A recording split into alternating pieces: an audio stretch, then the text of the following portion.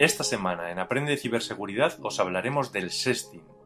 Utilizamos este término para referirnos al envío de contenidos de carácter sexual a través de Internet, producidos por los propios usuarios, principalmente a través del móvil y la mensajería instantánea. El sexting no es un problema de seguridad en sí mismo, pero sí es una práctica de riesgo, sobre todo cuando implica a menores de edad. Mientras que por un lado se puede considerar como una nueva forma de intimar entre los jóvenes, también tenemos que tener en cuenta que una vez que se envían esas imágenes y vídeos se pierde el control sobre ellos. Y no es extraño que por un descuido o por motivos malintencionados esos contenidos se acaben haciendo públicos, provocando un daño a la reputación de la víctima.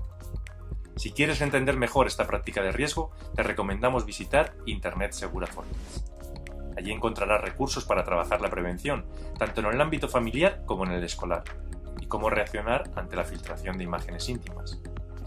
Recordad que también tenéis disponible la línea de ayuda en ciberseguridad de INCIBE, el 017, un teléfono gratuito en el que estaremos encantados de atenderos.